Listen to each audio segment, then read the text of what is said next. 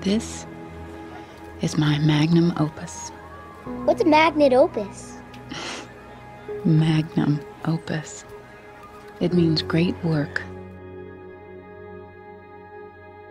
Wilbur, I'm afraid they're not going to make it back to the barn. What? I have no choice.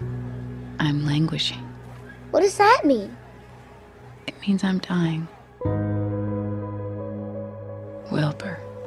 We're born, we live, and when our time comes, we die. It's just the natural cycle of life.